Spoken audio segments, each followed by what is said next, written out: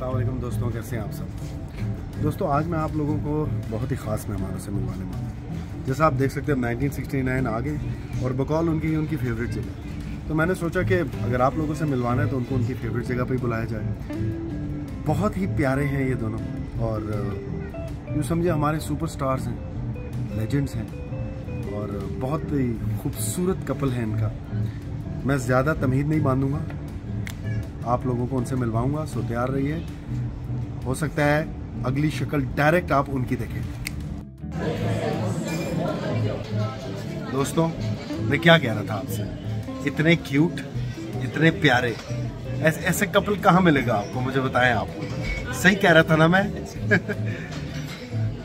मैं मैं, और और मैंने साहिबा जी से एक सवाल ज़रूर पूछना है, बहुत ज़रूरी सवाल। और वो ये है कि आप मुझे सिर्फ़ ये बता दें आपने कसम खाई हुई है कि आपने सारी ज़िंदगी ऐसे फ्रेश यंग और प्यारे रहना है। या आपने कभी मुंडा बिगड़ा जाए वाली। वाली। है ना? मतलब what is the secret behind it is it is is it the is it the husband who keeps you happy जी जी बिल्कुल इसमें कोई शक नहीं। क्योंकि अगर आप अपनी वाइफ की तारीफ़ करते रहे ना तो वो फ्रेश रहती है। भले झूठी क्यों ना हो करते रहना चाहिए करते रहना चाहिए। अच्छा नहीं आपने अभी कहा था ना कि इतना अच्छा कपल आपको कहाँ मिलेगा? यहाँ 1969 में। सही सिर्फ़ यही मिलता है। हाँ। मैं बुलाता हूँ तो हाँ। वरना तो नहीं मिलता। आप आए किसी वक्त भी हम आपको यहाँ नज़र आएँगे। बड़ा एक मज़ेदार सवाल है कि आप लोग मिले तो बैक इन द डेज़ जब फ़िल्म इंडस्ट्री में थे तो you guys have met but what was that moment when you guys realise आप लोगों की सिर्फ़ जान पहचान या फ्रेंडशिप नहीं है बल्कि थिंग्स आर गेटिंग सीरियस मेरी तो काम करने से पहले ही मुझे अपना जवाब देना है। Yes. मुझे तो काम इनके साथ करने से पहले ही था कुछ कि कुछ है। क्या बात है। इनका फ़ोटो शूट देखा था मैंने तो मैंने कहा था ये मेरी पहली फ़िल्म की हीरोइन होंगी और अभी मैंने गेस्ट हाउस नहीं किया था। So there was this soul connection कुछ है बिल्कुल सही कह रहे हैं आप। फिर एक वक्त आया ये मेरी पहली फ़िल्म की पहली हीरोइन। फिर जब मैं उस फ़िल्म की शूट कर रहा था तो मैंने दोस्तों से कहा कि ये आपकी भाभी बनेगी। अरे वाह आगे अब इनसे पूछे ये तो था इनका इनकी फीलिंग्स थी जो आपके लिए थी बट नेचुरली जब आपने इनके साथ काम किया तो आपने तो पहले से ऐसा नहीं सोचा होगा।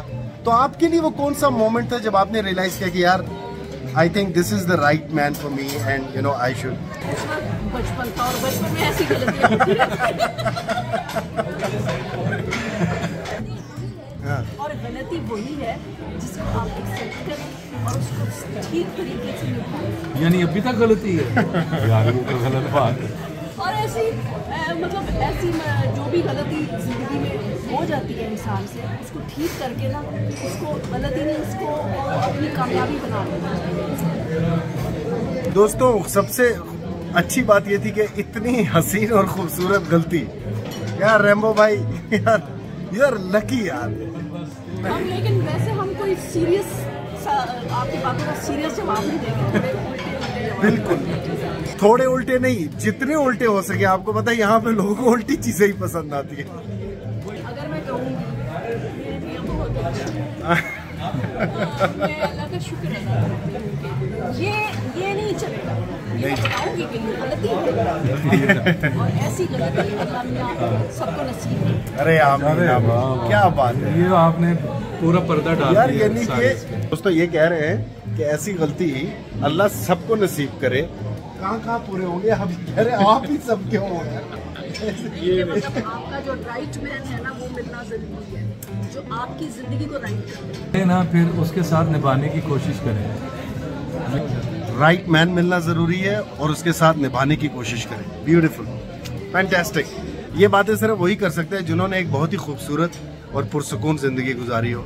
और हमारी दुआ है कि ये जिस तरह हँसते खेलते यहाँ पे हमेशा ही ऐसे रहे।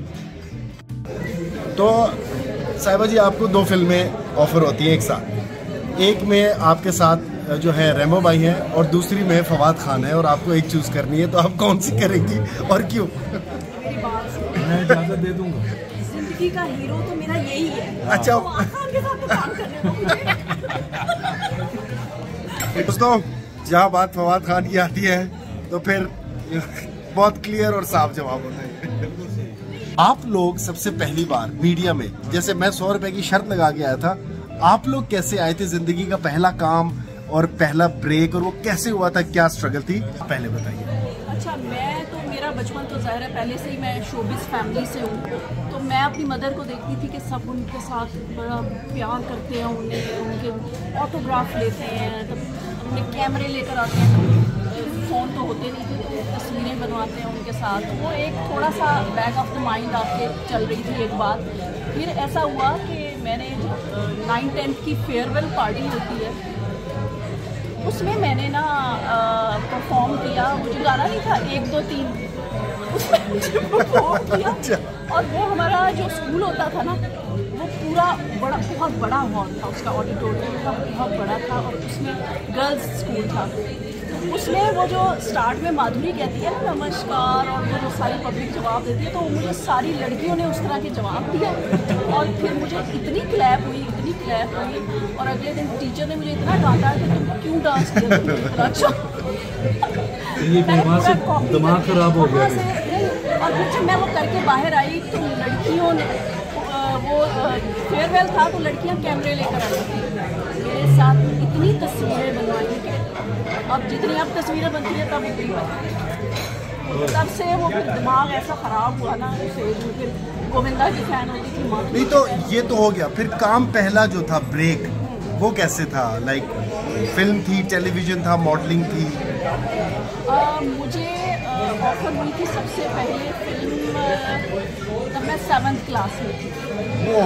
सेवन्थ क्लास में थी। जब मुझे उन्होंने देखा ना उन्हें ये पता था जावेद फाजिल साहब को एट में शायद हो गई थी। जावेद फाजिल साहब को ये पता था कि जो मैडम निशो की बेटी है ना वो बहुत प्यारी है। वो घर आए थे मुझे देखने। तो जब घर आए तो वो कहते कि नहीं ये तो अभी छोटी नहीं लेना इसको फिर हम लंबा साल देखने में हाइट मेरी बहुत ज़्यादा थी। मैं सबसे पीछे बैठती थी असम्बली में भी सबसे पीछे खड़ी होती थी तो मेरी हाइट मेरा जो मामू है मेरे जितना मेरे से आठ महीने बड़ा है वो मेरे यहाँ आता। मैं इतनी टॉल थी उस एकदम हाइट निकाली तो वो फ़िल्म थी बुलंदी शान साहब के साथ और रीमा की और जब वो फ़िल्म रिलीज़ हुई मुझे वो भी बहुत अच्छे मैं उनकी फ़ैन दोनों की बहुत बड़ी।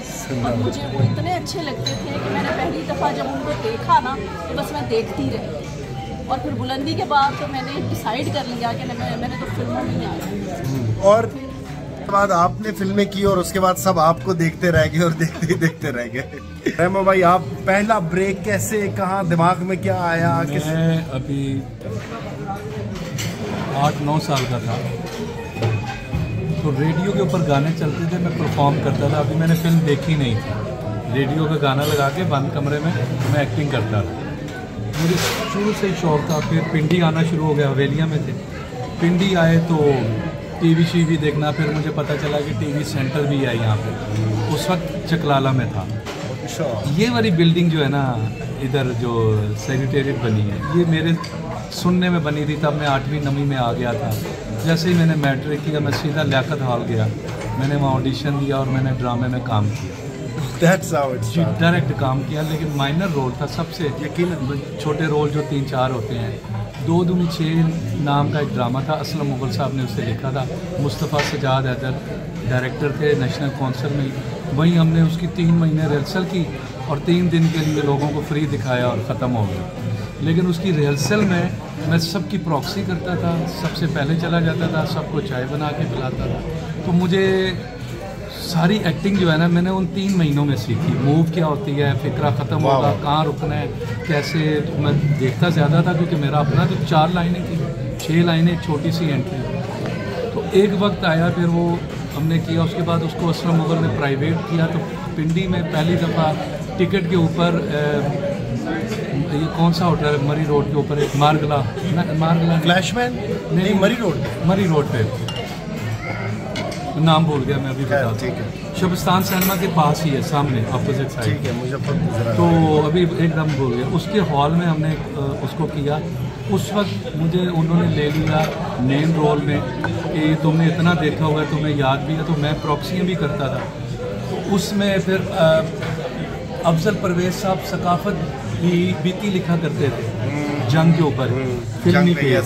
शो बिज़नेस वो देखने आए उन्होंने मेरी इतनी तारीफ़ की और मेरी तस्वीर छाप दी। और उसके बाद मुझे फिर पर लग गए। मैं सीधा पीटीवी आ गया ऑडिशन देने।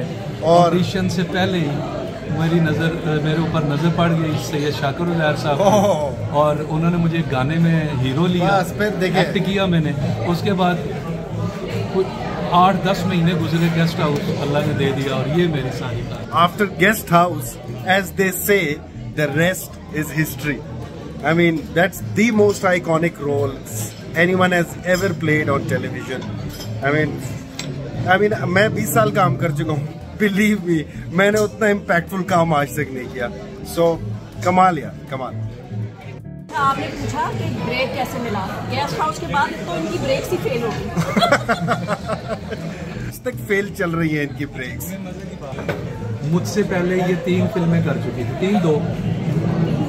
तीन फ़िल्में कर चुकी थी और मेन रोल में की है। वो इधर उधर से निकल नहीं पता ही नहीं इनकी चौथी फ़िल्म थी मेरी पहली फ़िल्म जब मैं इनकी अम्मी ये फ़िल्म नहीं कर रही थी कि यार वो एक स्वीपर का रोल है वो हीरो कहाँ से है उसको कैसे मेरी बेटी की आगे भी फ़िल्म कोई नहीं चली। तो वो मना कर दी उन्होंने। फिर उनको समझाया कि प्रोड्यूसर थे हमारे हाजी अब्दुल रशीद साहब अल्लाह ज़िंदगी से उन्हें हयात हैं। एक अब्दुल्ला चिली साहब सॉन्ग राइटर हैं। वो आए उन्होंने इनकी माँ को समझाया कि भाई इधर तेरा ध्यान पाओ काम बस फिर वहाँ से अल्लाह ने क्या बात जैसा इन्होंने कहा था इनकी पहली फ़िल्म की हीरोइन होगी और वो हो गई क्या बात है। दोस्तों अब खाना आ गया मैं इनको खाना खाने दूँगा। और इनकी खाना खाते हुए वीडियो मैं आपको नहीं दिखा सकता। तो बहरहाल बहुत मज़ा आ रहा है इनके साथ बात करते हुए। दोस्तों मेरे मेहमान जो है वो खाना खा बैठे हैं। अब मैं उनसे ये पूछूँगा कि उनको खाना कैसा लगा। तो जैसा कि आप देख सकते हैं कि ऐसा इनके- लगा। ऐसा लगा इनके पोस्टर से लग रहा है। मुझे मेरा आधा जवाब इनकी तरफ़ से तो मिल गया। साहिबा जी आप बताइए। मुझे बहुत अच्छा लगा और अगले दस दिन का खाना मैंने खा लिया। खाना मैंने खाया। और अच्छा मैं जो चीज़ ट्राई कर रही थी फिर मैं वही खाती जा रही हूँ। ये प्रॉब्लम हुआ है कि इसलिए बहुत ज़बरदस्त हर चीज़ में हर चीज़ का एक तो टेस्ट डिफरेंट था और परफेक्ट ये ये सोने वाले यहीं पे इनका देख कुकी चढ़ गई मुझे कुकी चढ़ गई। बस एक मेज़बान के लिए सबसे अच्छी बात ये होती है कि उनके मेहमानों को उनका खाना पसंद आए। I am so happy that they are here I am so thankful आप लोगों का बहुत शुक्रिया। आप लोग यहाँ आए मुझे इज़्ज़त बख्शी आप लोगों ने। गॉड ब्लेस यू और बहुत शुक्रिया आपने इतना अच्छा खाना खिलाया। बिल मैं भिजवा दूँगा आपको। हैं? हैं? ये जागा हैं? तीन दफ़ा।